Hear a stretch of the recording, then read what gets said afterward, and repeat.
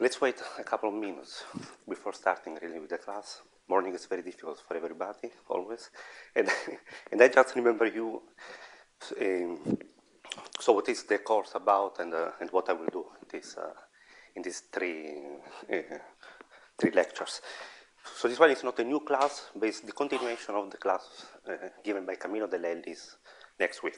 So you know already what we are going to present, which is something on the regularity of minimal surfaces.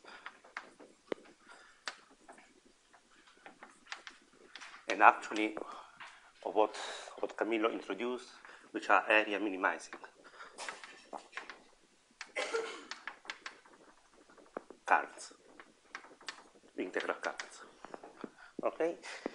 And Camillo show you the theory of integral currents and some of the um, in, and some of the issues that you see in the regularity for, for codimension one currents. So especially he gave uh, a proof of um, a partial case of, of De Giorgi's decay lemma, which is at the base of the study of the regularity for, for codimension one currents. This week, we will see something related to higher codimension.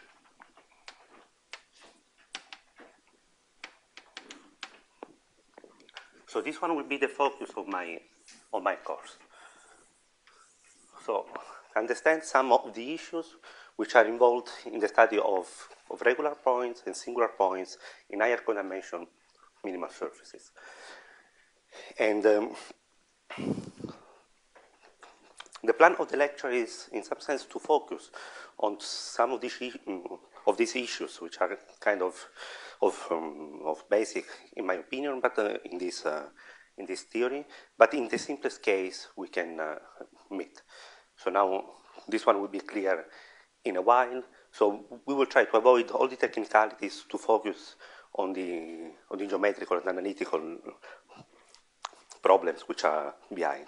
And maybe the best things to do is, is, uh, is to start with an example and always to keep, to keep an example in mind, which I, I saw Camillo already introduce, and that's the examples. So that's kind of introduction via examples.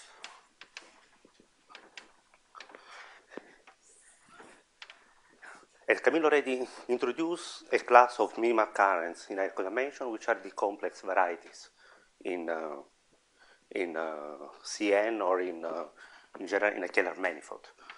So, so since it's just an example, let me just introduce the most basic one, which is a, a complex curve in C2. So the one which Camillo introduced, I think, was uh, uh, ZW in C2 such that Z2 is equal to W3. So let's understand a bit the geometry of this, of this complex curve.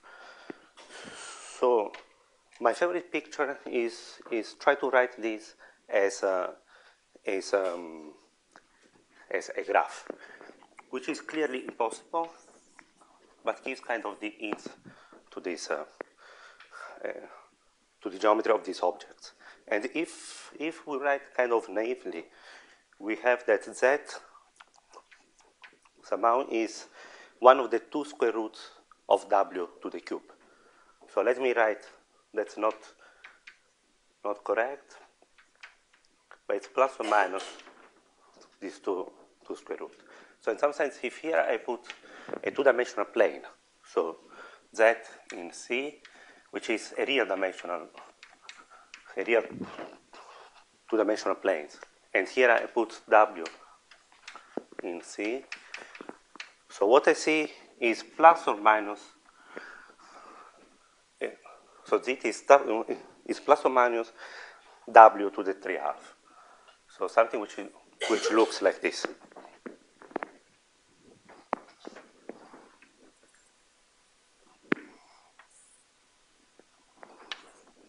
So the, this one is V. Now what is V actually? If you see here, it seems kind of disconnected. but it's just a two-dimensional projection or of a four-dimensional space. So this V is living in C2, which is a real dimension for, which has four real dimensions. So what is actually V? V, if you see, it's, it's a, a very nice topological disk.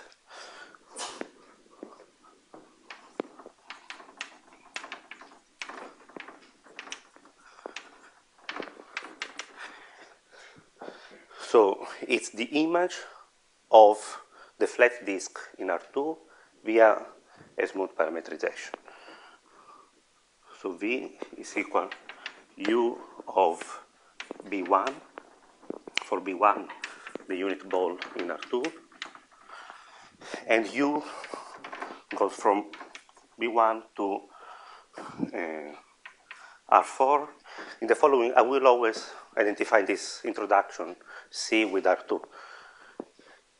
We, and I mean, we can also give a, a parametrization for such, for, for such a map. So in polar coordinates, a parametrization is, is the following. So rho cos theta, rho sin theta, rho 3 half cos 3 theta, rho 3 half 3 theta. So it's the image under a continuous map of a disk. So actually it's a very nice uh, surface, much more regular than a general uh, uh, than a general currents. And if you see, this parametrization is actually very smooth. It's an embedding everywhere except at, at the origin, where it is just an immersion. So, so this one is uh, just to put all this information together is an example of a minimal current in R4. So it's a two-dimensional minimal current in R4, which is regular everywhere except in the origin, where it is just immersed. And there's a kind of double point there. So what we will try to, uh, to analyze in this week is the behavior of these singular points here, which are called branch points. So, in some sense, the aim of this, of, of what I'm going to, to, to, present, is to find some uh, analytical way to understand the presence of this, of this such behavior. And this surface here is a, an example, a very clear example why the, the techniques and the tools in codimension one cannot work in higher codimension. Because as Camillo showed you, the main parameters in codimension one for the regularity was the excess, which is an, an integral measure of, of the oscillation of uh, the tangent plane. And here the tangent plane is, is continuous there. So remember, this one is an immersion.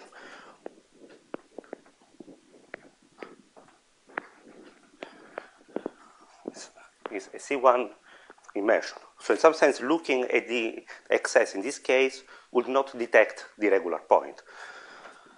So that's just a remark. So the excess of these currents B in BR, so around the origin, is going is going to zero. So at a certain point becomes less than the constant in, in Allard's theorem, but nevertheless the surface is not regular.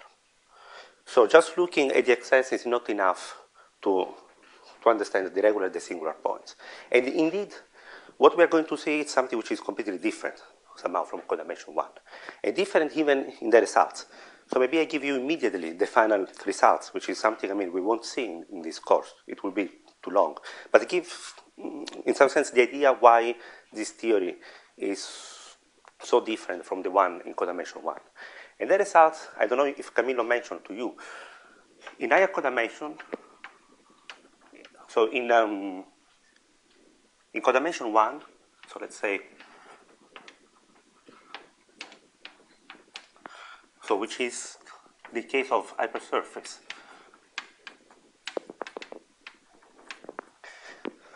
So we have that every every minimizing current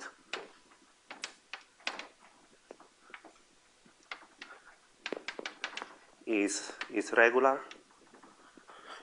So regular means that it lives on a smooth manifold and is given on the integration by the integration over this smooth manifold.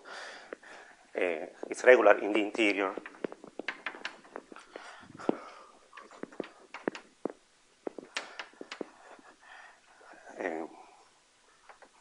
Except for a set of at most m minus 7 dimension.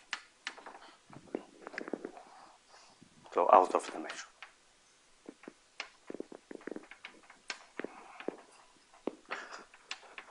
Where m is uh, the dimension of the current.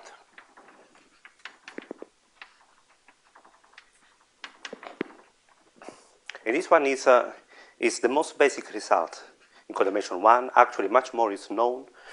But just to point the difference, we will we just talk about Hausdorff dimension. Which I mean, for those of you who do not know what is Hausdorff dimension, just just keep dimension. It's a very reasonable notion of dimension that you may introduce in these uh, in these problems in geometric analysis. And this one is a, a result of uh, a very long uh, uh analysis and effort, which starts with the, De Giorgi and then was completed just in the 70s by uh, Almgren, Federer, Allard, and many other authors, Simons, and so on. But what is striking is, is somehow the final result. If now I would like to write the final result in higher dimension, you see it changes completely. So in higher dimension, the singular set may exist. Is there an uh, objective argument which you can show that y is a 7 case? I know that it's correct I know that theorem, but uh, can you give us some, something where we can see it's a 7 case from? Not me. okay. So, I mean, the question is where this this uh, this magic number is uh, is coming out. It doesn't mean for me it's uh, I think as magic as for the for most of the people. So if you see the computation, it comes from an analysis of the stabilities of cones, and there you see, or or geometrically you you see as a possibility to foliate a space with a foliation which is singular in one of the leaves. But why this comes first in this dimension? I cannot, uh, I cannot say, honestly.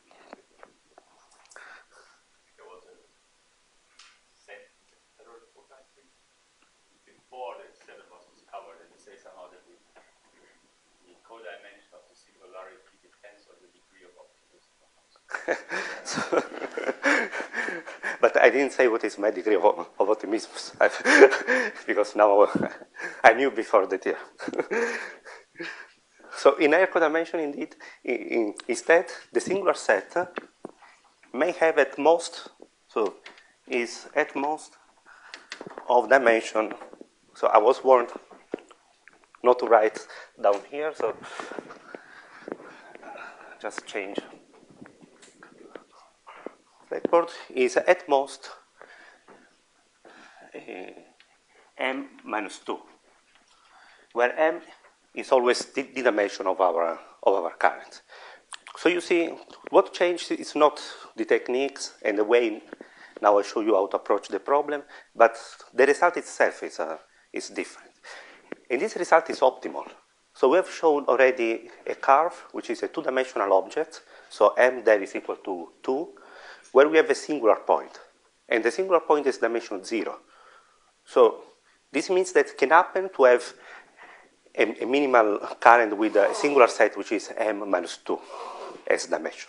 So it's not that we cannot prove more than this, but it's that this result is sharp. And this result, this theorem, is due to Almgren. So in the 80s. So now what I we will do in this class is in some sense to understand some aspect of this uh, of this theorem. revisited with some, uh, some, um, some modern uh, terminology and modern concepts.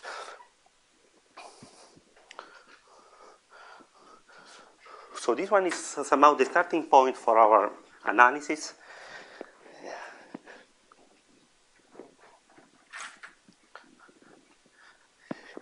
And again, I mean, uh, I think the best way to understand where to start is looking at, uh, at the examples I gave you. So the examples was the one of the complex curve B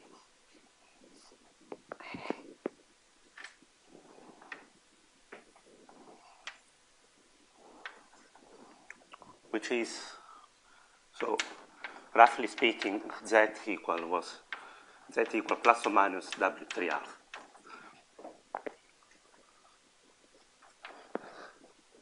But, but somehow correctly is the one given by, by the parameterization I, I wrote you before. So, and why I would like to start from this picture? Because it gives somehow the idea of what we are going to do.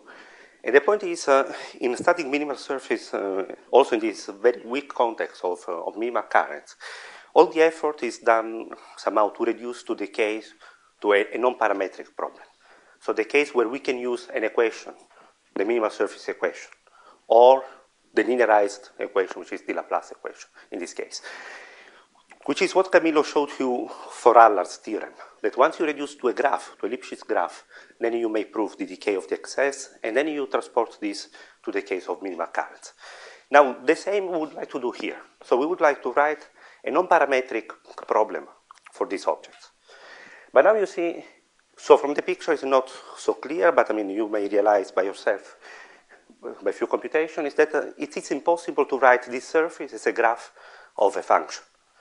So morally, the tangent plane with respect to which we should parameterize this one is the tangent plane of the parametrization of the immersion, which is this horizontal plane here. So somehow, the first claim is that this horizontal plane is uh, the, the preferred one to write a parametrization. But around this point, there is no way to write this uh, v as a graph of a function. And the reason is because of these branch points.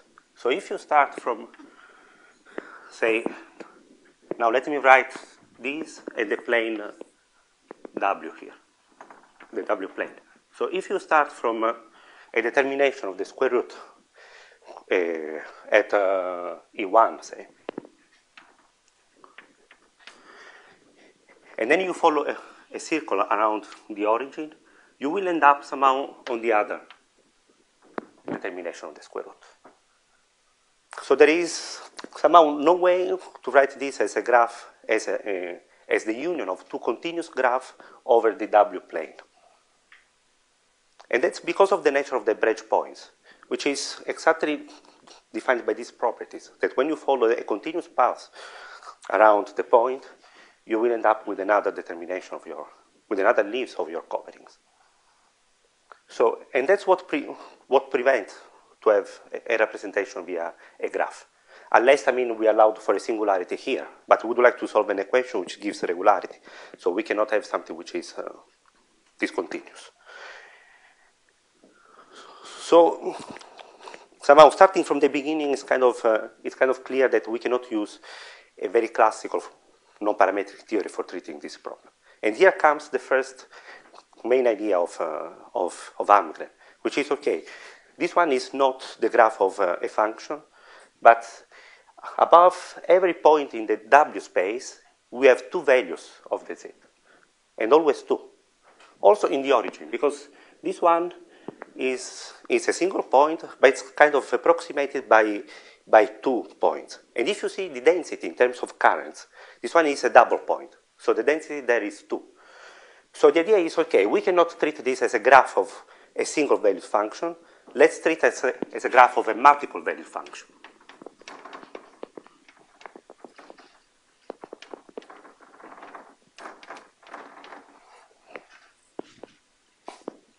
So in this special case, the function is, uh, so we can write kind of, um, of formally, it's a, so to each w, we associate two values. which are in, so let's write, I mean, kind of informally, but it's, uh, it's clear, which are w to the 3 half and minus w to the 3 half, somehow. So I have a map from a unit disk, say in R2,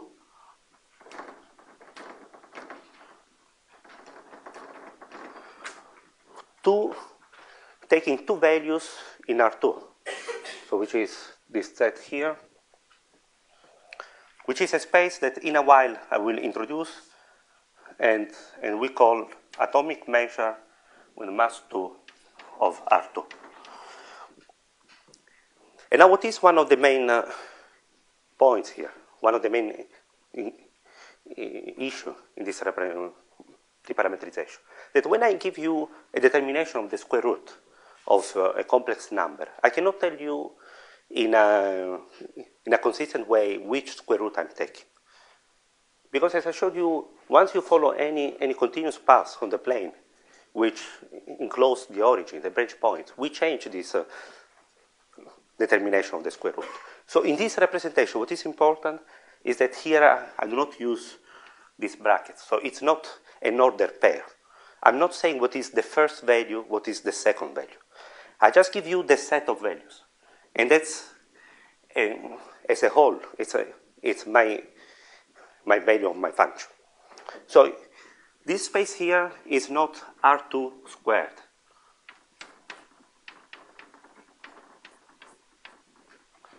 But it's, it's kind of new space of points, which is the space of unordered points. So that's kind of the, the beginning of the, of the analysis. So let's start from uh, introducing this space.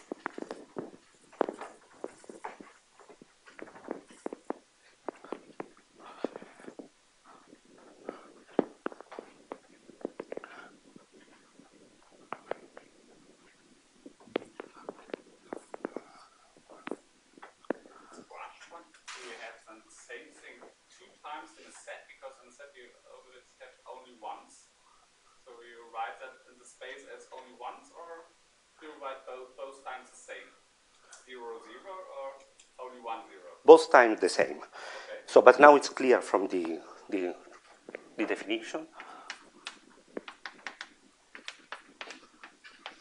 And this one is the space of, in this example, R2, we will always consider Q points, which was traditionally what was introduced by Almgren. And let's put a, a, a sign here that means that these Q points is and hull are not different Q points. So, and the way to to formalize this concept is to take so there will be the Q points in Rn, and I consider this as the atomic measures of mass Q in Rn. So positive atomic measure of mass Q in Rn. So I write the sum E from 1 to 2 of Dirac deltas in Pi. So this one is a, a Dirac delta, such that Pi are points of Rn. And then you see these points are not necessarily uh, uh, different. So, for example, a branch point could be q times the zero. So our values will be always a measure, which is atomic, so living on, on deltas, and mass q. So positive with mass q. So this one belongs to AQ of Rn. And just to understand a bit this space, that's just a, a, very nice formalism because we can think a bit about summing measures or stuff like this. But another point of view to see this space is actually the, the, the combinatorics one I was, I was kind of suggesting here. So it's true that it's a collection of Q points in Rn. So this space you may also see as Q copies of Rn, but then you have to take care of the, of the order of the points. So you have to take a quotient via the equivalence relation of permutation.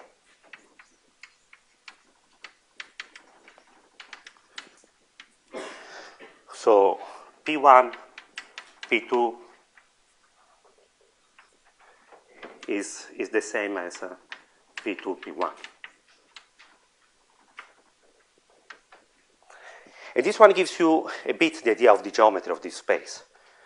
So it looks like a Euclidean space because it's actually R to the n q. But then it's, uh, you, you took the quotient with, with this group of permutation. So you create some corners and some angles in this space. So the space, in the end, will turn out to be not a smooth space. And the, and the only structure we can give here, naively, so, so, let's say the first structure we can give in this space is, is the one of a metric space. So let me introduce the metric for this space.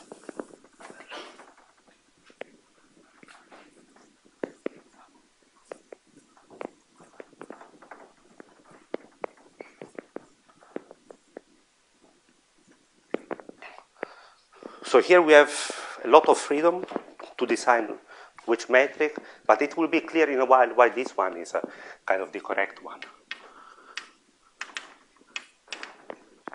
So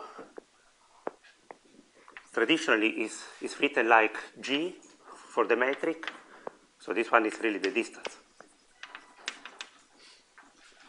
So between two Q points T1, T2, and I imagine T1 is the sum of the deltas in Pi, and T2 is the sum of the deltas in uh, Si, say. So this one is the minimum among all the permutation of the square root of the sum, always 1 to q, of the Euclidean distance pi minus s sigma i squared. So just to understand this as with the picture, we have two sets of, of q points. So let's take the case of uh, exactly, uh, I don't know, two points. So T1 and T2. And we consider the pairing of one point with the others. So in this case, we have two. We have once this, and then we have another one, which is this. No, this is the only one I shouldn't.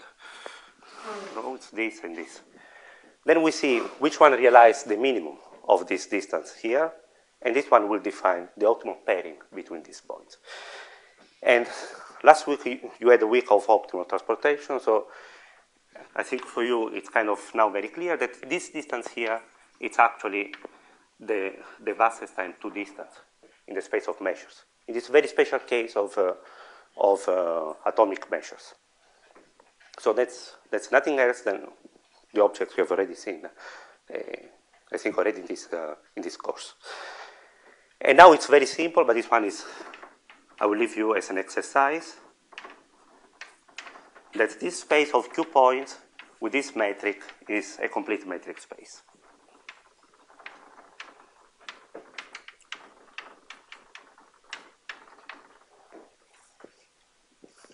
Okay. And by the way, I post some notes for the, for the class. So some of the material you find here, and also some of the exercise with the ins also to solution are in the notes, if you, if you need to consult.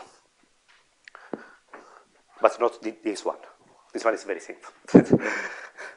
okay. So, so now we have our space of points. Let's define what is a function to this space of points. So nothing easier because now we have two metric space and we just consider functions between two metric spaces.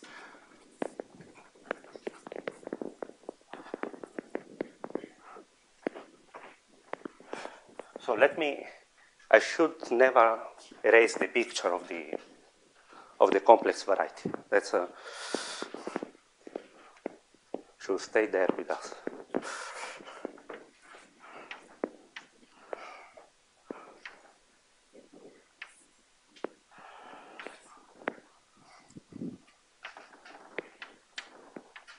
So now, which kind of function we would like to, to look this problem? So our function from a flat space, a Euclidean space, to this set of, of two points.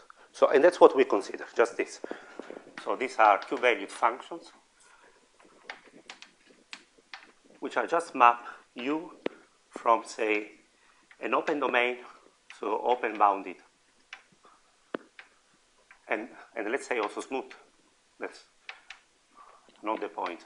In a flat space, and M is always the dimension of my, of my object, of my current, to this space of two points in Rn.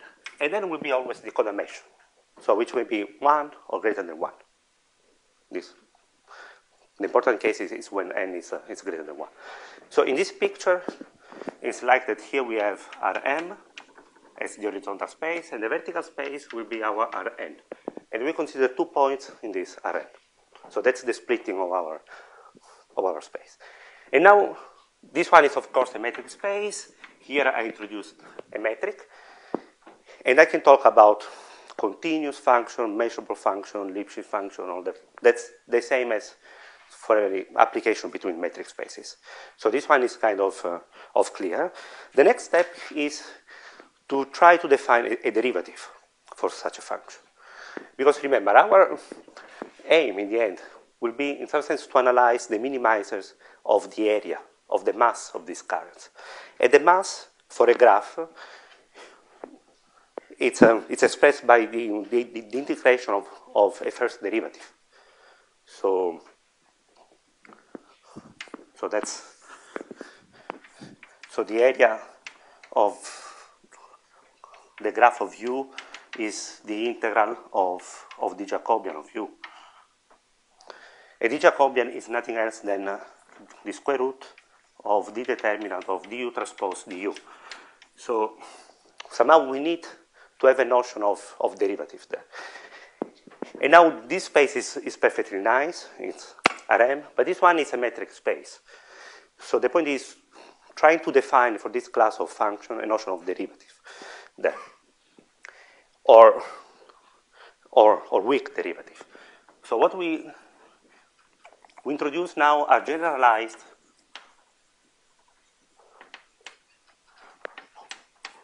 Sobolev functions.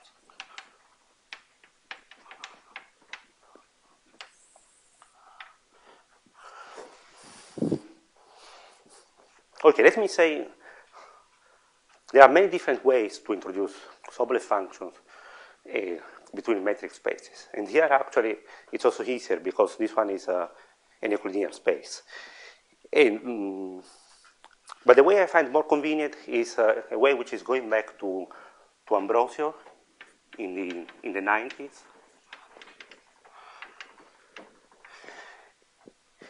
which is looking at composition with the Lipschitz functions. So I say that a function is Sobolev if every composition with the Lipschitz function is, uh, is a Sobolev function. So let me give uh, a formal definition. So um, we say that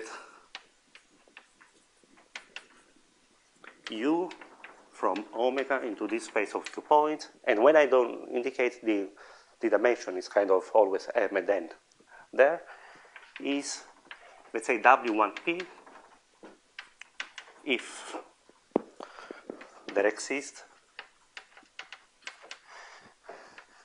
a function phi in LP of omega. And this one now is, is the usual LP space. So this one is a function from omega into R. And actually, I mean, we can take positive. So that there exists phi in LP such that the following holds. And we need two conditions here. So the first one is that every composition needs to be Lipschitz. So instead of taking generic Lipschitz functions, I will take composition with a distance function. So I, I say for every t in my space of q points, the map, which now it's a real valued map. So it goes from omega into r, and at each x, I associate the distance of uh, u of x from t, which is now a number. So this map here, it's now actually a real valued map. And I ask that for every t, this map is Sobolev, W1P. So meaning LP and the, generalized, the general, uh, generalized gradient in LP. But then what is important is that all this composition needs to have a, a, a common dominant for the gradient. So then, which is this function phi here, I ask that the, the weak, the norm of the weak derivative of this composition, so for every t, the norm of this uh, weak derivative is pointwise dominated by phi. A pointwise means, of course, there are weak derivative almost everywhere in omega. No, that's pointwise. So for almost every x, this one is a, a, a finite value and has to be controlled by this function phi. And also phi is defined almost everywhere because it's just an LP function. So it's, it's really pointwise, almost every x, say, in omega. That's what we ask. Now this one is uh, an exercise which I put in the notes. So that's somehow the, the most economic way to introduce this space, but it's like asking these properties for every Lipschitz composition. And that's what is important.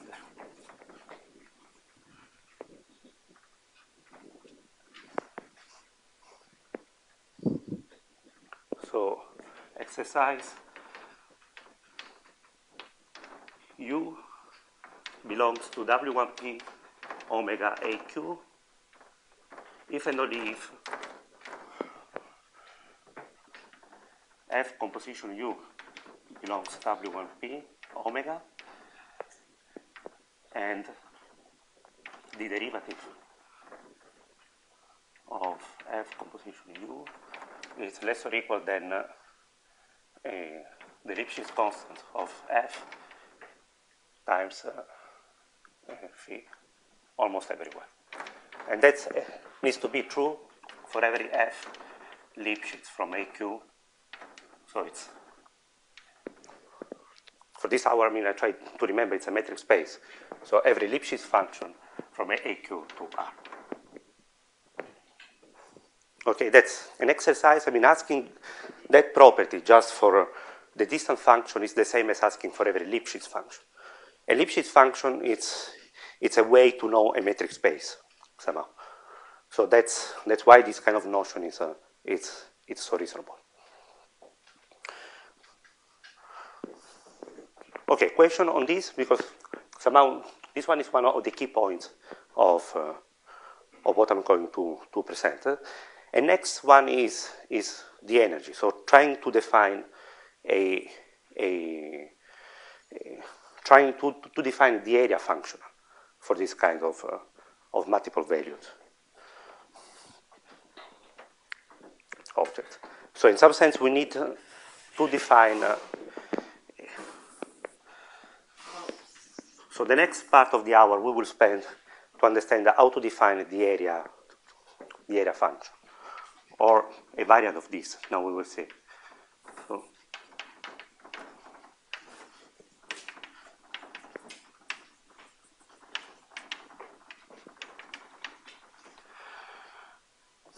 And the first step we do here is, in some sense, to immediately to simplify our uh, our objects, which is, I mean, it's also what is done in the in the theory in codimension one.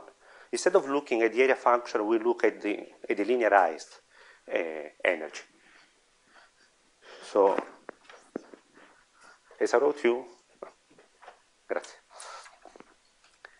So the area of the graph of a function u is given by the integral of the Jacobian.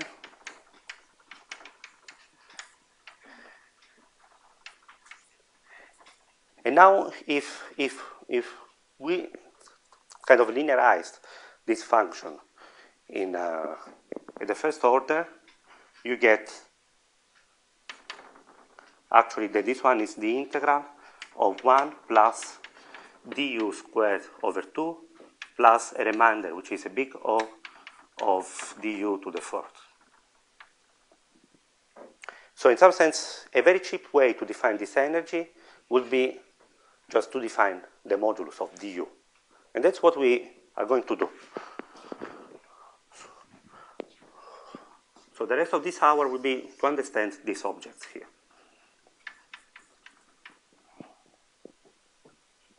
Okay.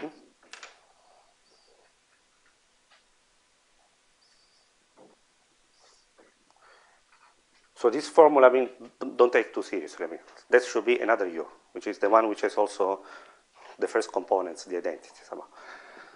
But it remains true that uh, this one is, uh, is the expression. So now try to define the U. And looking at this, and this uh, definition here, there would be a kind of very, very natural guess, which is, okay, I take the minimum phi, realizing these properties. And this one is my du, because every gradient of this one Lipschitz map is dominated by phi. So this one is very reasonable, but it's the wrong energy. And actually, the energy will be defined and will be clear at the end of these hours exactly by this property here that it, it, it, needs to be the first order expansion of the area function. So it really needs to be the Dirichlet energy. And now, if you look at this energy here for, for vector value map, this one is not the Dirichlet energy. This one is uh, the um, operator norm of the gradient. So it's not the, the Hilbert-Schmidt norm. So we need to do something else. And uh, and for this, the expression of the energy we introduce is one which is a sum on the partial derivative, in which case the two norms coincide.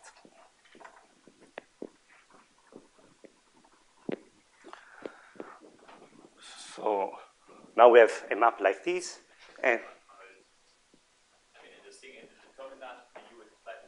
it's a, it's a different u. You have x, x u of x. So this one is a I should put here, say, big U, x u of x. So that's the map. Hmm. Yes, and this one, the derivative of this gives the one in the expansion. Okay, so so what about du? So we defined, um, so before defining the modulus of du, we define the partial derivative, the modulus of the partial derivative of du. So we take dj of u, and look, I, write like this, but this one is kind of uh, an independent object. So it's not the modulus of a derivative up to now, but it's just a quantity, positive quantity, which, is, which will be an LP function. Uh, and it's given by the optimal phi there for the partial derivative in J, which I mean, it's not difficult to recognize that this one is the, the supremum over a dense, a, a countable dense set of, uh, of points in this space of q points of the modulus of the partial derivative of this composition. So I select a countable dense set of points there. I look all of this composition, all the partial derivative, and I take the supremum pointwise almost everywhere for this quantity. And then the right quantity to look, the u squared, is exactly the sum on the partial direction, on the, on the, on the different direction from 1 to m of this partial derivative squared. So this one now we will see in a while why it's, it's the right quantity for the energy. And note that in general, when we have a map with the values into a metric space, in, it's, it's very simple. There are many different definitions for defining the, the modulus of, of a gradient, but not for defining a pointwise gradient. This one is something which is, which, which is general, much more subtle. In this case, I mean, we can define also a pointwise gradient, and now we will spend the rest of today's lectures for doing this, in order to understand a, a bit better this class of maps here. And we will see that these pointwise gradients will match this energy we have in, introduced here.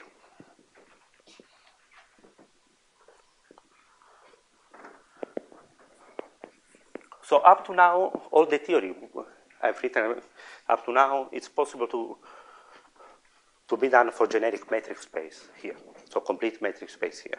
You may define this energy, Sobolev class like this. And from now on, we exploit the structure of Q points, actually, a bit more in details.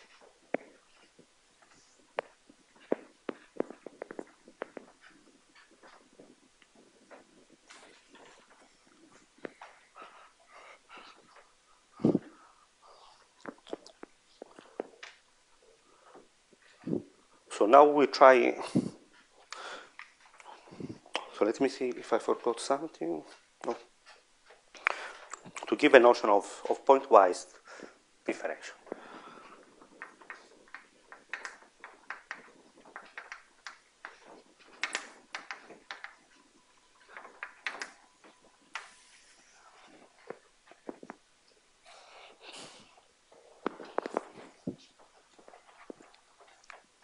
Okay, for doing this, let me first say something on, uh, on, uh, on the representation of this multiple values function.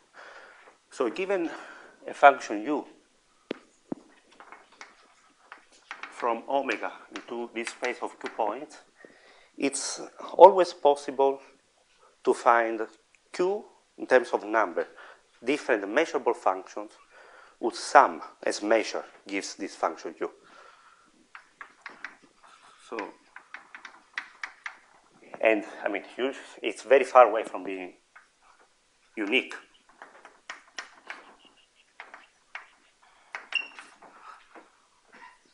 So Q measurable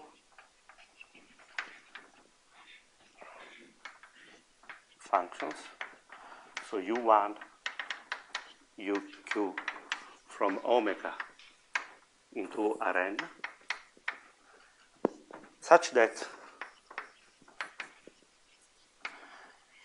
u of x is exactly the sum of Dirac deltas in ui of x. So this one is it's a very a, a very useful way to to name the values of this function there. So in, in some sense, I'm not claiming anything about this UI. So I'm not saying, for example, that when we start from a continuous function, the UI are continuous. That's not possible. Or when we start from a Sobolev function, the UI are Sobolev. I'm just saying that we can give a label in a consistent way, which is very non-unique, in order to represent function u as a superposition, that's what we call superposition or selection of measurable functions, ui. But in general, this one will be just measurable. And the proof of this statement is, uh, is by induction. I gave like uh, an exercise in the notes, and there are hints for the proof of this. And it's not so deep. I mean, it may be, it may seem strange somehow because I said we cannot order the value. But when I said we cannot order the value is in a consistent way, in such a way that, I mean, when we have uh, a continuous function, our values are ordered in a continuous way. That's impossible. But in a measurable way, so just giving a, label which is measurable, we can do. And that's, I mean, uh, it's always possible, and we will use this writing here just as a way to write our function. So nothing special, just, uh, just having a, a way to name each value at x. So that's the only use we will make of this proposition. Which, I mean, by the way, the proof is uh, it's very simple by induction, the, and it's given in the notes.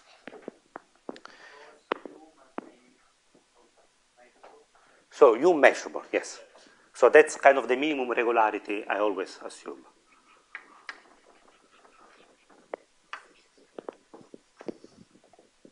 Okay, what is wrong is when you substitute this measurable word with any other words there. So if, if you have Lipschitz and then you find Q Lipschitz function, it's impossible. So Sobolev, Q Sobolev function, that's impossible. So that's the only wording in this kind of, uh, of statement there. So, but this one is useful because I mean, uh, allows us to to use this notation and to introduce this notion of pointwise differential. So that's the definition.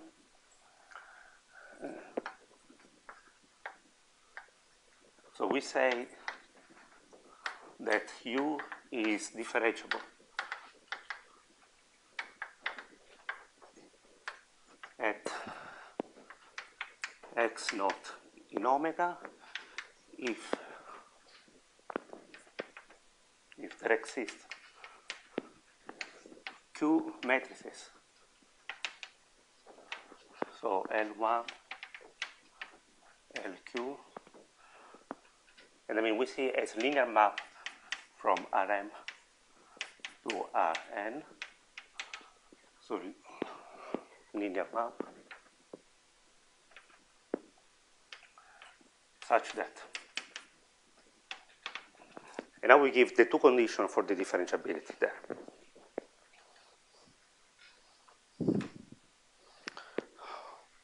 So the first one is that now, now we set a notation for the first order differential of a map. So At x0 of u, that's kind of the tangent map uh, to u at x0, which is, uh, so let's use now y as a variable. So this one is the, sol, the sum of these deltas at Li y minus x0 plus ui of x0. And then here you see the first use. It's just a way to, to label these values. So this one is uh, a sum of two different linear maps uh, based this uh, affine map uh, at, uh, at ui of x0. So once we set this, then uh, we have that the distance between u of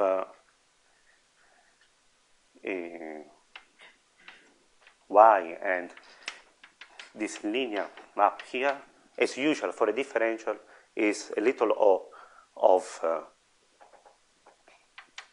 it's an infinitesimal of, of the distance. So that's so I'm, I'm telling you what is the linear, the differential of this map, and I ask for the usual differentiability properties that it has to be infinitesimal with the distance to the point.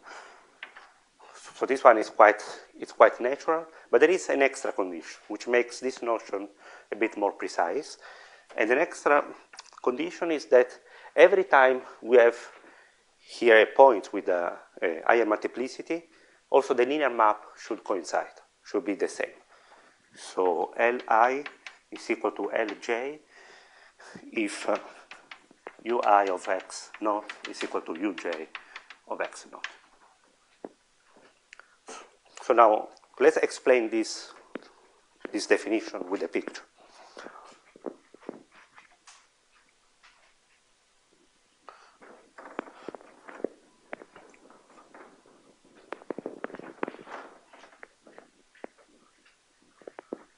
So basically what we say is that a point is, um, so, let's do the first case where we have exactly the superposition of two different uh, smooth functions. So let's say q equal to smooth function, which are kind of disjoint. So we have uh, here our two functions, and our two values function is the superposition of the, this very, very smooth two function, then at a point x0 in the domain, we, we may take the differential of these two, so this affine map here, and our differential for the map will be just the superposition of these two differentials. And, and this one will be a, a point of differentiability for our map. Another case is when the functions are not are not disjoint. So always q equal 2, but we have a situation like this. So like uh, a branch point, for example. So this and this. So the map comes together. And this one is our point x naught. Then we say that x naught is a point of differentiability if we can find a double linear map which approximates this function there. Why double? Because if the points coincide, the linear function has to coincide. So here we need to find a common tangent plane to the two, which approximate to an infinitesimal of the distance our two values function. So this, this one will be taken with multiplicity 2. And this one is still a point of differentiability for us.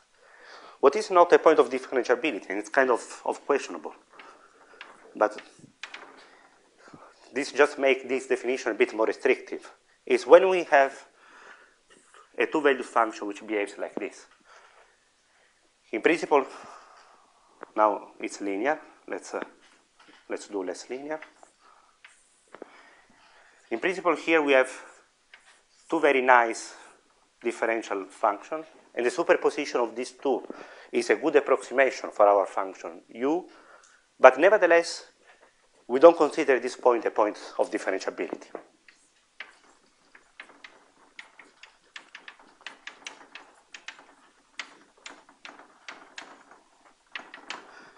Because the point is the same, but the linear map are different. So that's what we exclude from our definition of, of differential point. And I mean, the reason why this case is excluded, now it's a bit vague, and uh, I cannot explain kind of completely, but it, comes from the fact that, in some sense, all the all the core of the theory is, is, is somehow to look at the space of q points in, as a, a union of stratified space.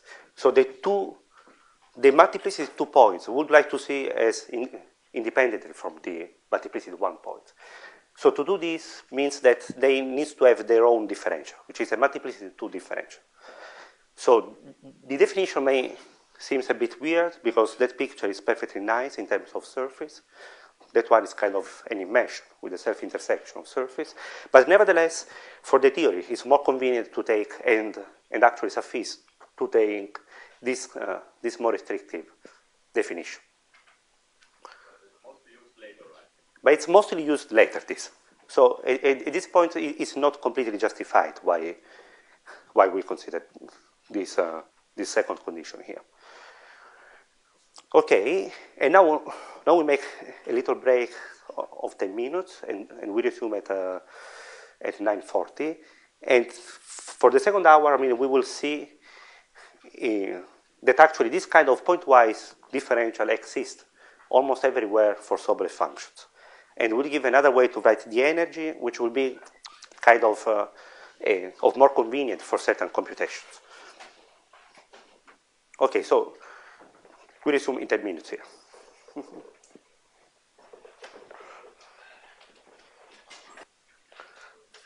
okay, let's start uh, again, very, very slowly. So.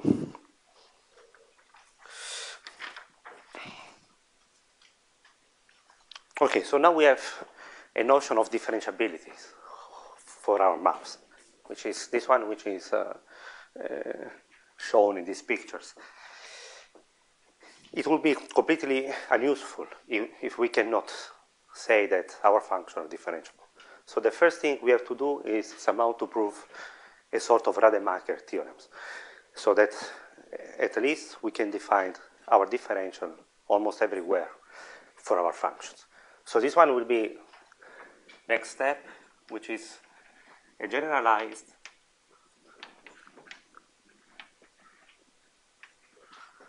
Rademacher's theorem.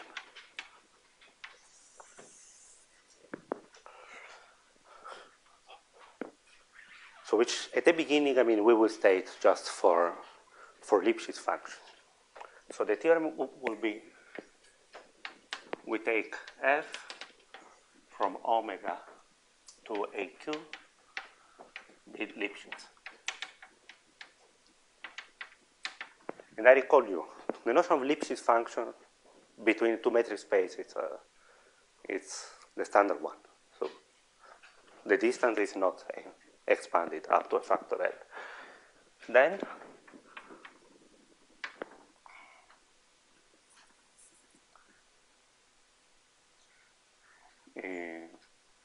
then f is is differentiable at almost every point in omega. So this means that for almost every x naught in omega, we find such a collection of linear maps with the properties I wrote, I wrote before. Okay, and now we try to give a proof of this, uh, of this result. So won't be a complete proof, but almost complete, let's say, because all the ideas of the proof will be uh, inside here. So so proof is more a sketch. And what we do to illustrate this phenomenon of, of the proof is to consider the special case of two values function. So q equal 2.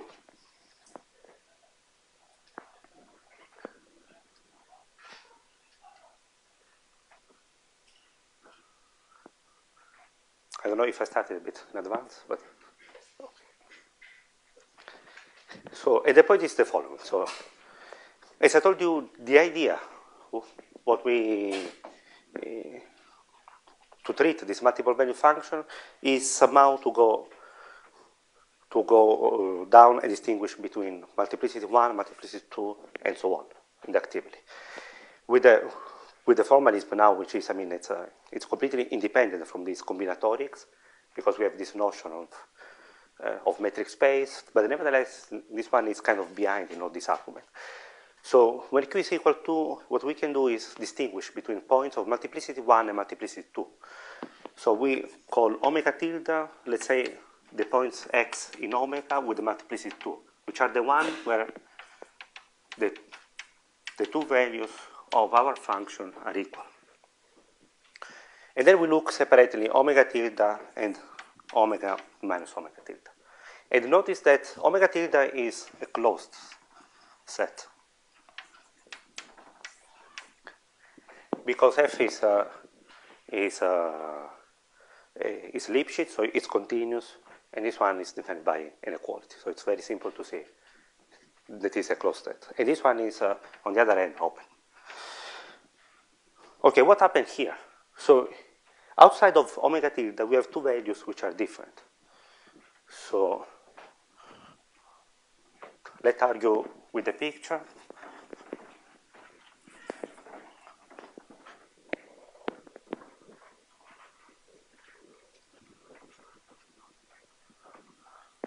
So we have,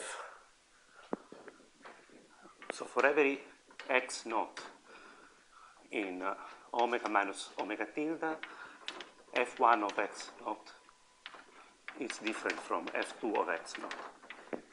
And so we see basically, so that's our x naught in our space. We see basically two different values for such a function. Now the function is continuous. So now I'm not going to prove this, but uh, it's Lipschitz, it's Lipschitz continuous. The two values are different. This implies that these two leaves of the function cannot meet in a neighborhood of this point. So, so there exists a neighborhood of x naught such that here I really see two different, two different leaves of my functions. And now the function was globally Lipschitz. It's very simple to say that f1 and f2 are also Lipschitz in a neighborhood of x naught.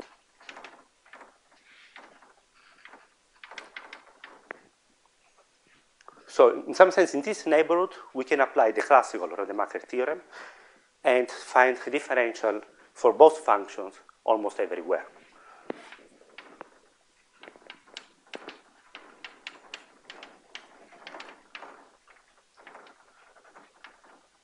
Now, I mean, we cover all this set, so here. And now it's very simple to verify via the, the definition. So by the very definition at the beginning, this map here, so I1 to 2 of dfi x naught y minus x naught plus fi x naught. This one is a, a differential for our two values function. So I say a differential but you see from the definition that when exists, the differential is unique. So it's the differential, or the derivative of f. So when we have these two values which are, which are split, then we argue as, as if we had normal, uh, normal or classical function there. So the only thing we need to understand is what happened in, uh, in omega tilde.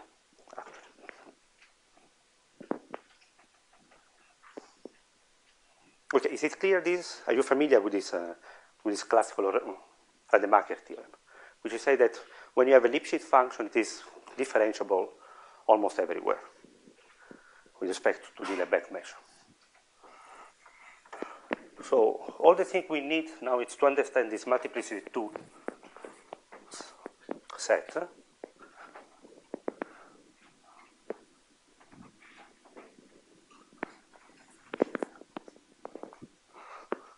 So in omega tilde f1 is equal to f2. And now omega tilde is not the entire space, but we can use an extension theorem for Lipschitz functions. So, for example, the Kirszbraun theorem, and say that f1, f2 coincide with the restriction to omega tilde of a Lipschitz function.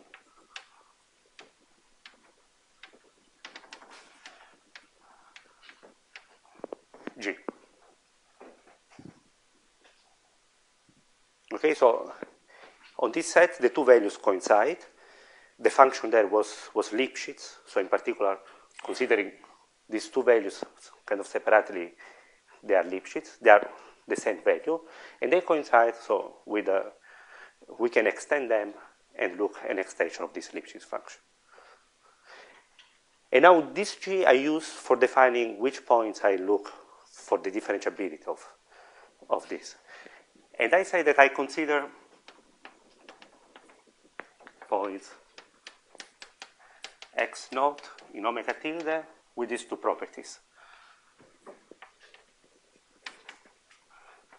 So the first one is that there needs to be points of density 1 for omega tilde.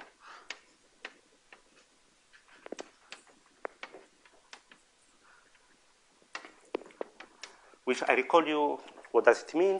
It means that if I look at the measure of omega tilde in smaller ball around x naught, it has to cover almost all the ball. So the limit are going to zero of BR x naught intersecting omega tilde renormalized by the measure of BR is going to one. So it's covering everything around this point x naught. And then since G is Lipschitz itself, I look at the point of differentiability for G. So x naught of differentiability for G. And now what I claim is that for all these points, x naught with these two properties, actually my function f was, was differentiable. And notice that by the Lebesgue theorems, almost every point in, in omega tilde is a density one point. So this one is a condition which is satisfied almost everywhere. And now here I, I apply again my Rademacher theorem in the classical case, and I know that G is, is, is differentiable almost everywhere. So these two conditions are satisfied almost everywhere, so would suffice to prove the differentiability for points with these two properties.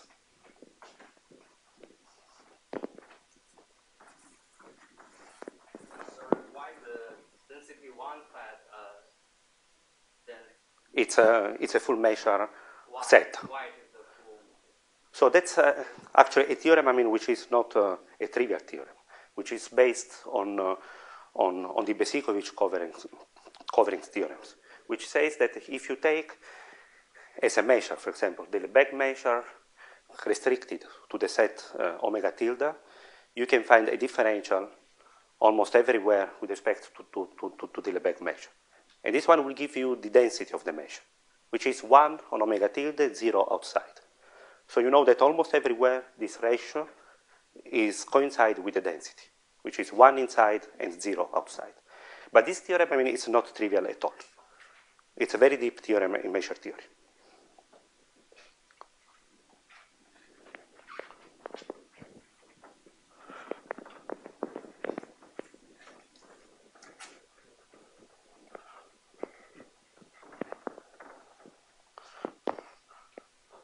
So now we are we are left with this task, so which is to prove the, the differentiability at this point there.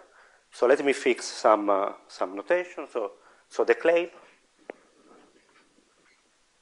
the claim is uh, so f is differentiable at uh, at at x naught as in AB and so let's make this claim a bit more precise. The, the linear function to f at x naught is exactly twice the linear function associated with g. So twice dg x naught y minus x naught plus g of x naught, which is the same as f1 or f2 of x naught. So this one is, uh, is my claim. So let's prove this.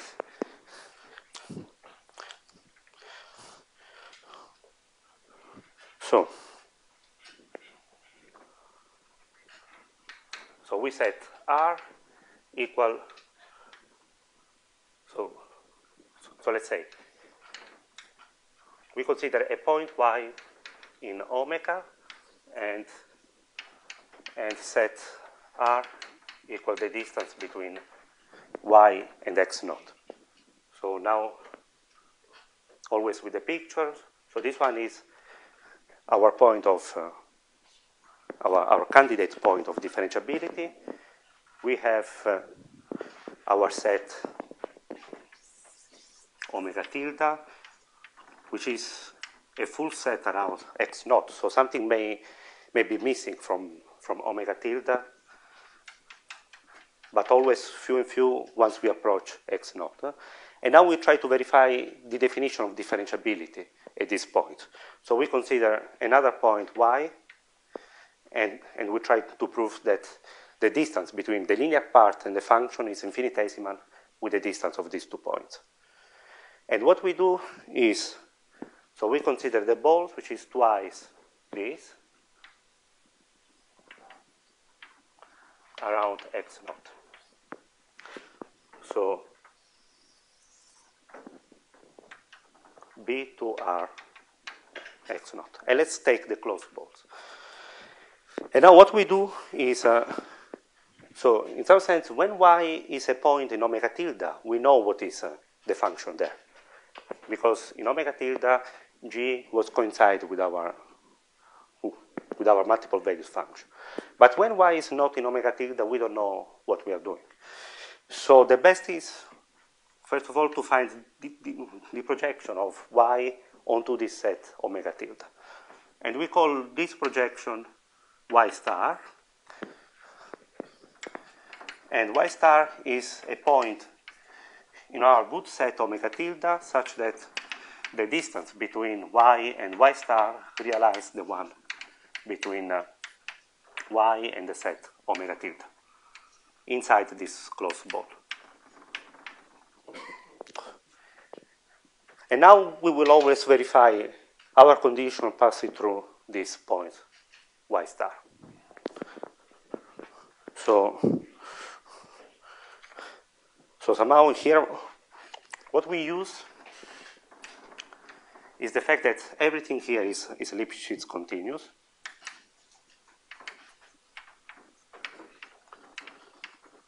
All our functions are, are Lipschitz continuous.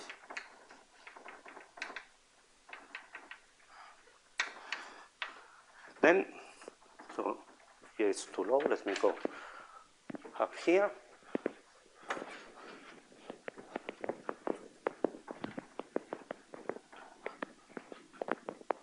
So then, in order to estimate the, the distance between in f of y and the first order differential at y, we can put in between our comparison point, which is this y star.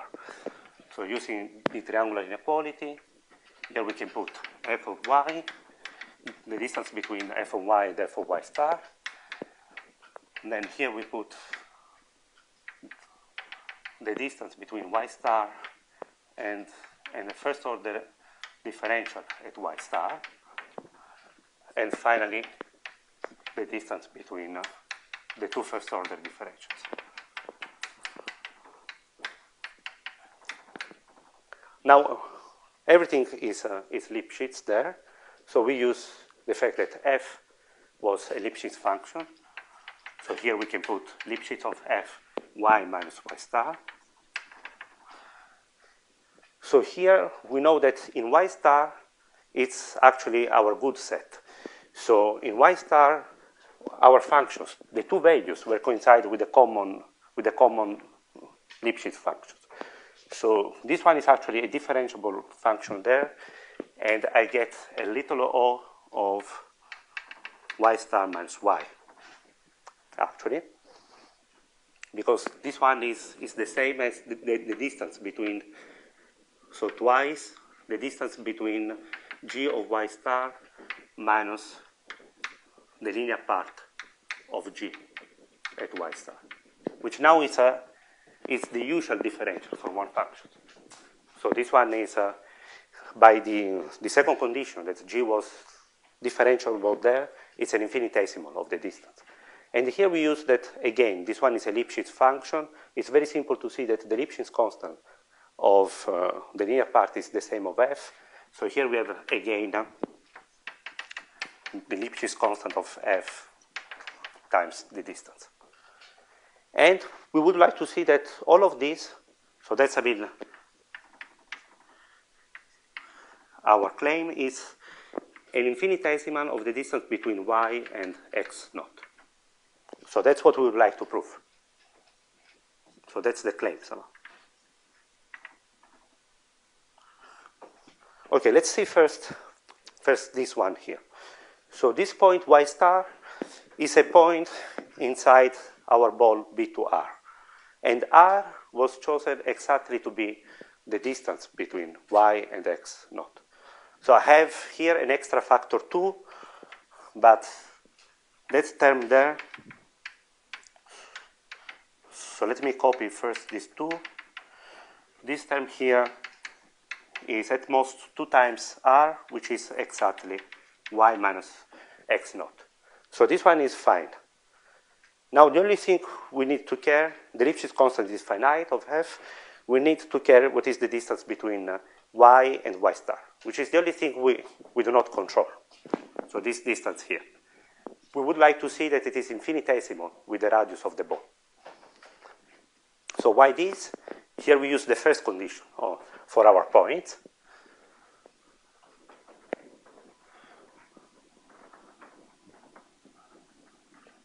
And we use that actually this y could have been outside our set, but the space I have outside omega tilde is very small because it was a point of density 1. So here I take a ball around y with radius y minus y star. So this is b, y minus y star centered at y. And you see that this one was the point realizing the distance with omega tilde. So this one is contained in uh, omega minus omega tilde. Intersected with the ball B2R. So in some sense, I have an indirect uh, measure for this distance because I know that the, the volume of this set is very small because it's, it's contained in the complement of this, uh, of this set here. So how can I estimate that distance there? So this one, uh, up to a dimensional constant, which depends just on the space uh, dimension, is exactly like uh, the, the measure of this ball here to the 1 over m. And now I, I renormalize for the ball BR. So I put here R and here the ratio between this measure, the measure of these balls, and B to R. And here, I mean, I'm changing this constant from line to line. There is a factor to, uh, an extra dimensional factor there. But I use now this information here, that actually this ball was contained in the exceptional set. So that volume all to the power 1 over m. So this volume here is less or equal than a constant times r. But remember what was r? r is the distance between uh, y and x naught. So that's uh, r. And then I have this ratio here, which is BR, B2R, I can put intersected omega minus omega tilde divided by B2R to the power 1 over m.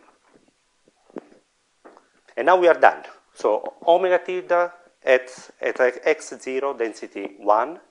So this means that the complement of omega tilde has density 0 at, uh, at uh, x naught. So this ratio here, we know just by the density properties that this ratio here is going to 0 as r goes to 0. That's by property A. So altogether, this one is y minus x naught times an infinitesimal. So little o of y minus x naught, which is what we wanted to, to prove. Because now this one is already a little o of the distance, this one as well, and this claim is, uh, is proven. So just, just summarizing this proof. So what we have done was, was looking first at the points where the function were, were splitted. And there we know that we can apply our classical or Rademacher theorem, finds two differentiable functions which approximate our function there. And then we looked at the point with the multiplicity 2. And we select kind of good points, which were points of density 1 and points of differentiability for the double function living on that set, which is what we call G, the center point. Now, for that point there, with this computation, we, did, we verify that we have a differential. And the differential is exactly twice the linear part of G, which I mean, turns out to be good with our definition because for a double point, we need a, a differential which is twice a linear function. And that's what we verified. That's the distance between f and twice this linear function is actually infinitesimal with the point. So I, conclude the proof here, but just a few words how to proceed for further coup. That's just by induction again. So now look at, the, at three values. We may split in one values, two, one, and three.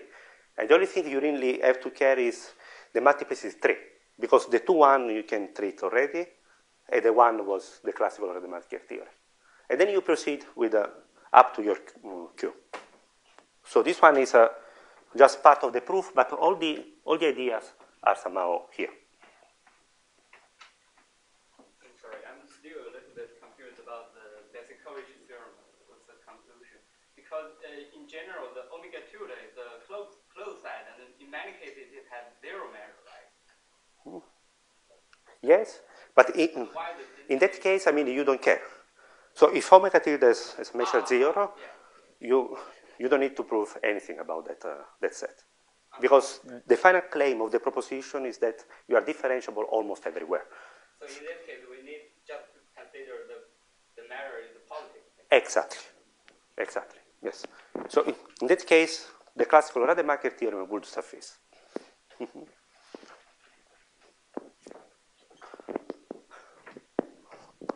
okay. So this one is a is kind of an important theorem because we had the notion of differentiability, but we need to know if our functions are differentiable because otherwise the notion was kind of, of empty. And now what we know is that a Lipschitz function, which is nothing else than a, Sobolev function W1 infinity, is, is uh, differentiable almost everywhere. And now, this one is not difficult to see. In the notes, I, I gave the details. But as for classical Sobolev function, you, you can prove the differentiability almost everywhere when the exponent of the, of the Sobolev class is not infinity. So, so this one is now a corollary of this, uh, of this, of this theorem. But let's state as a proposition.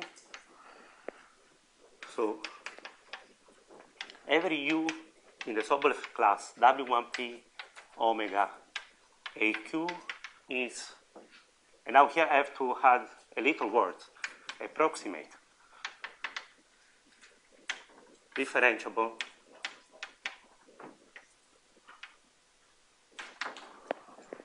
almost everywhere in omega. So what does it mean? Let me just explain in words what does it mean approximate differentiable. So it's not the pointwise notion of differentiability like, uh, like for, for Lipschitz function. That's, I mean, we cannot claim for Sobolev functions, but for every point you have a, a, a set of, of, of full measure where your function, a density one at that point, where your function turns out to be differentiable. So it's really kind of the same notion approximate. That's a way to see this in terms of measure theory. But what is important is somehow that this one allows us to define the, the differential almost everywhere. And uh, in the notes you find the proof. What is behind this, this proposition is a Lusin type approximation theorem. You know that a Sobolev function coincides with a Lipschitz function on big sets. So where it coincides with the Lipschitz function, you have a differential. Since the set is not the entire set, this one will turn out to be just an approximate differential. But the proof is, is actually just a, a kind of Lusin type approximation theorem. But you find the details in the notes, so I don't want to spend much time on this. The only thing I mean I, would like to fix now is so now we know that given such a Sobolev function, we have a differential. So let's fix the a, bit more notation on this. So always I called this linear map Li, but actually the second condition, which says that, Uh, so that's just a remark on the notation. So since since Li was equal to Lj whenever fi of x was equal to fj of x, eh, somehow we, we make no confusion in writing Li, so we can write Li equals to dfi at x. So in, the, in, in this case, our differential in terms of notation takes the usual form, which is the first order Taylor expansion of f at y is the superposition of dfi of x naught y minus x naught plus fi of x naught. So, but let me remark that this one is just a notation. So I'm not claiming that pointwise each fi is differentiable. I say that I call this linear map dfi and I make no confusion because when two f's coincide, also the linear map coincides. So there, the Fi will be the same. So this one is, uh, is just a way to take advantage from the notation. And introduce us to the next point, which is uh, how to, to rewrite the energy.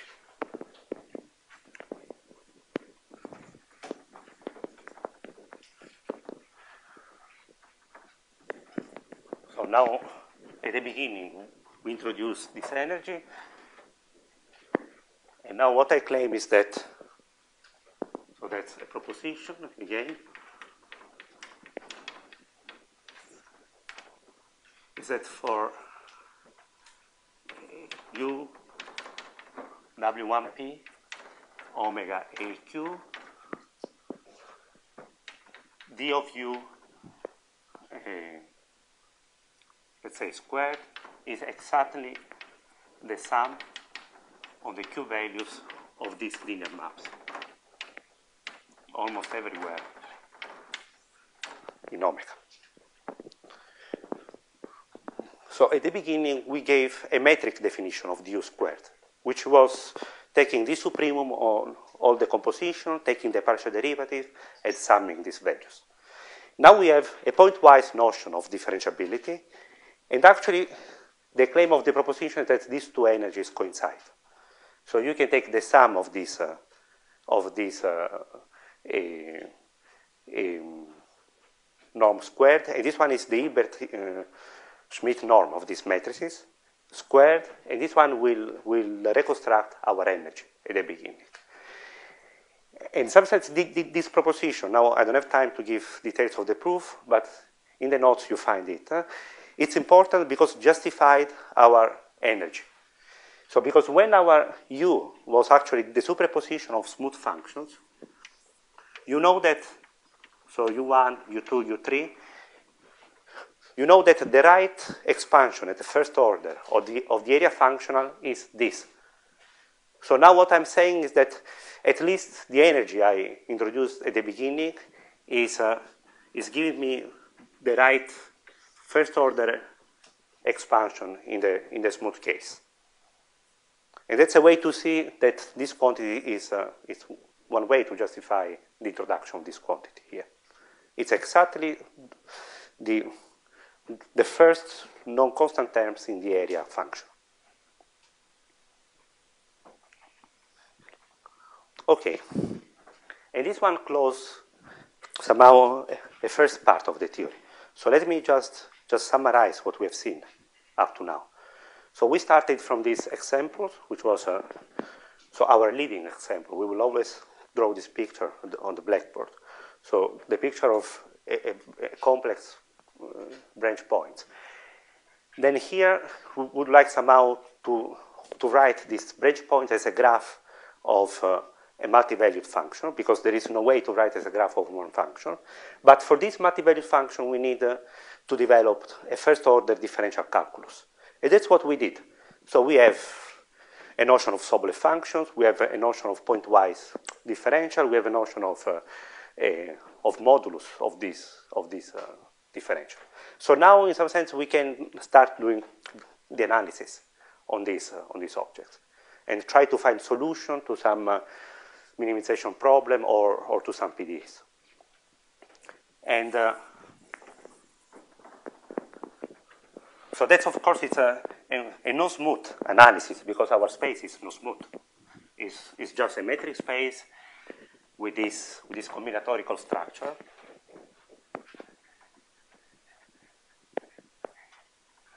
But this one is kind of enough to allow to do almost all the procedure for the, for the, for the usual calculus. And now what we, we will start today, eh, and probably we will finish tomorrow, is, is to see that actually we can find solution to minimization problem in this context. Now, of course, we should look at the minimization of the area, in principle.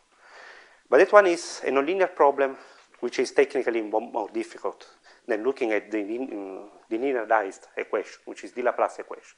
So let's focus on the Laplace equation, which anyhow, in the proof of the nonlinear case, will come in somehow. So what we look now is uh, a generalized harmonic uh, so harmonic functions. In this case of, of, um, of multiple values function. So what we try to do is to define harmonic functions as the minimizers of the Dirichlet energy. So let's introduce the generalized Dirichlet energy. Which, uh, I mean, now we have everything ready. Will be just the integral of our domain of, of du squared. And that's a, definition. For this energy, we, we can define the boundary value problem and say that U is harmonic, or in this context, it's called Dirac minimizing, if it is a solution of this variational problem. So the formal definition is U is called Dirac minimizing. And this one, keep in mind, is a synonym in this no smooth case of harmonic. If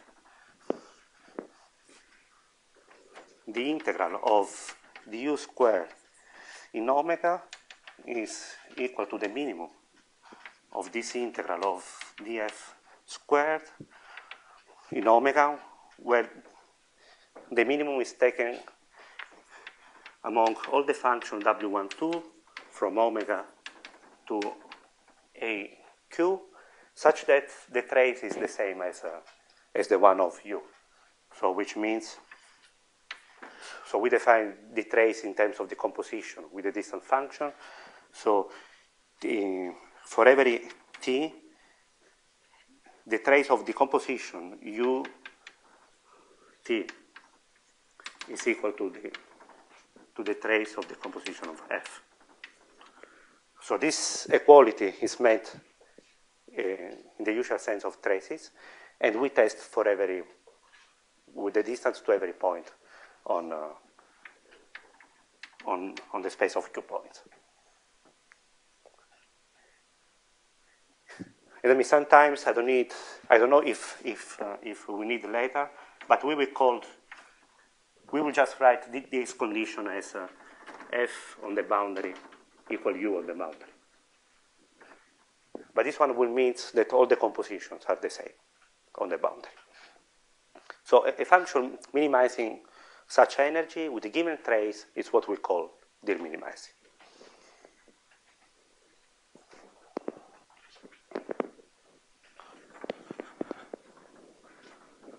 And now, what are the basic theorems about this, uh, this minimization problem?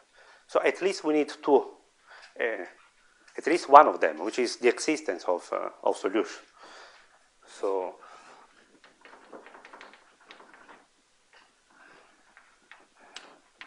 existence of Dirac minimizing functions. So we would like somehow to show that we are able to, to solve this Dirichlet problem for, for such a, an energy. So given uh, G in W1 to omega AQ, there exists U in, uh, in the same space, W12 AQ, Dirac minimizing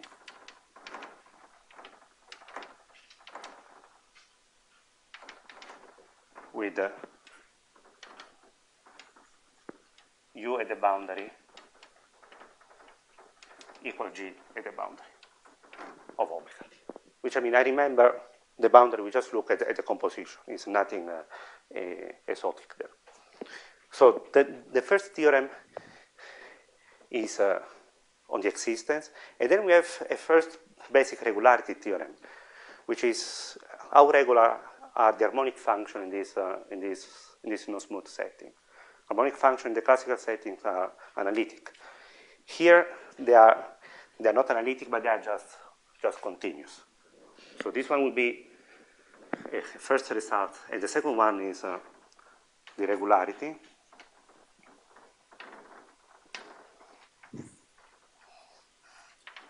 So every u dir minimizing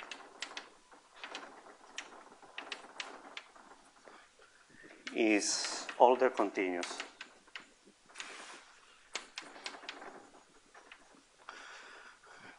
with exponent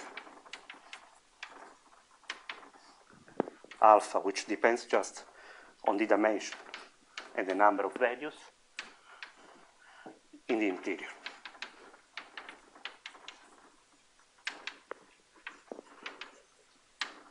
of omega. So this one is the starting part of, of the theory. So actually, we can find solution to this problem, and they are somehow more regular than just being Sobolev function. They are continuous, but nothing more than continuous. And the reason why they are nothing more than continuous, you see also with the examples of, of uh, harmonic, uh, with, um, of complex varieties. Because the complex variety, Camillo showed you that they are examples of minimizing currents, but actually they are also examples of de-minimizing function, where they can be written as a, a multiple covering of a plane. So this one, of course, is more than Hölder continuous, but we, we could have parameterized this, this complex variety with respect to the, to the wrong plane, which is the z plane. In that case, what we look, what we see is something like this, which is, uh, which is continuous, but here it's not differentiable because the slope here is going to infinity. This one is kind of the same curve parameterized with respect to, to the wrong plane. This one gives an example of a, a Dirichlet minimizing function, and it, is just Hölder continuous. So also the, this result here is sharp. Hmm? No? So this one, for example, is an example where it, it is not Lipschitz. It looks like, uh, so, so W here is like equal plus or minus, uh, now it's a, I mean, you have here a different number of covens, but it looks like Z to the two third. So here you have three, three sheets coming there.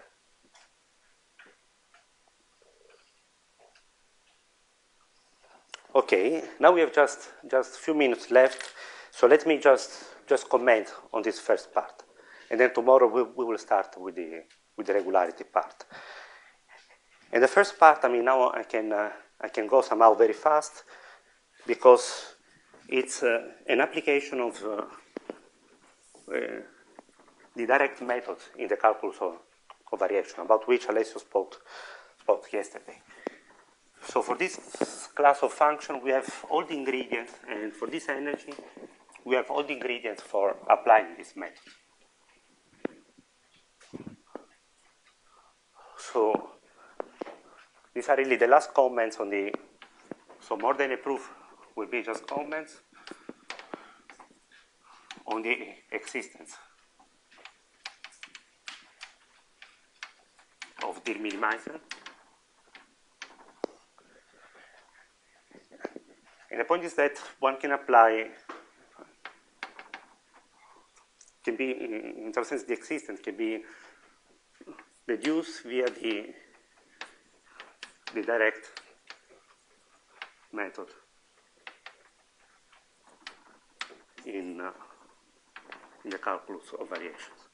And in particular, the ingredients were that we have the compactness, the the, the sequentially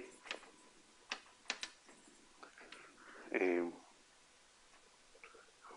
weak uh, compactness for for sequences of function, which means whenever we have fk sequence of function with uh, the trace of fk at the boundary fixed and the energy equibounded.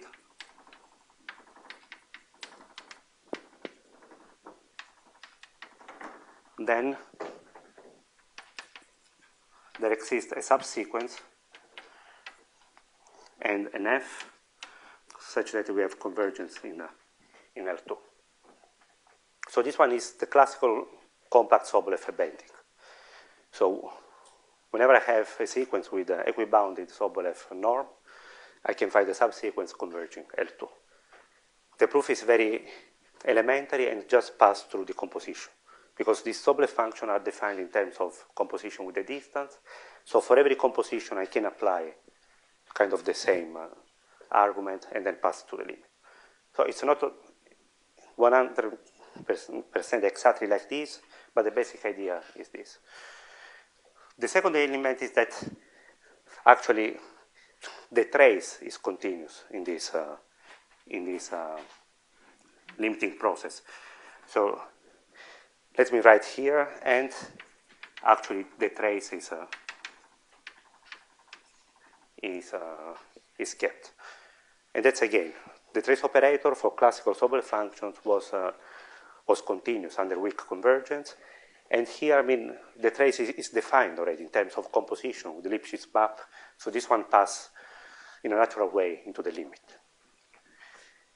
And the second element was the lower semi-continuity under this, uh, this, uh, this uh, sequentially weak uh, convergence, lower semi-continuity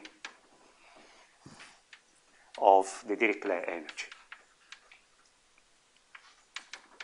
So which means that the Dirichlet energy of the limit is less or equal than the limit of the Dirichlet energy of, of the sequences as k goes to infinity. Okay, very few comments also about these points. I mean, in the note you, you find the, the proof also of this. It's uh, also here the, the, ingredients are very elementary, and the and uh, to prove this lower semi-continuity, one of the best way is to use the first, the very first definition I gave of df squared, which was the supremum of all these partial, all the norms of this partial derivative on the composition of functions. Then, of course, this one is a supremum on a, on a countable set, but by via an approximation, you, you, you can reduce as a limit on a supremum on a finite set. And now, for a finite set, you have on each set a, a different composition, but on that set, that composition is converging weakly. So you may apply the usual lower semi-continuity and then sum back to reconstruct the, the, entire energy. So again, also at this point, the philosophy is that since the energy is defined in terms of composition, and the compositions are, are lower semi-continuous, then this property remains in, the, in this context of, uh, of Q-values functions. Of course, you have to pay a bit attention because the lower semi-continuity you have to test on open set, so you have to approximate uh, properly your partition where you put the different compositions. But apart from these technical details, here the, the proof is really the classical one. So df is the sup of a composition of Lipschitz functions, so the gradient of, of regular Sobolev functions, and this one is lower semi-continuous. So once we have this ingredient, with a, with a mechanism uh, Alessio explained yesterday. So you take a minimized sequence, you have compactness, so you, you extract a converging subsequence, and the energy of this, of this subsequence will be the minimum energy. So you solved the existence of this, uh, of this deminimizing function. Okay, for today I will stop here and I'll, I'll, give you time for questions. And tomorrow we will start seeing some details on this regularity result that these functions are a bit more than Sobolev, they are continuous. And that's actually the best we can do. So if you have questions, that's notes? Hmm? So that's, I don't know, they should be on the web page. Okay. Uh, so, so they are already there. Hmm? Other questions? So let's have the coffee break.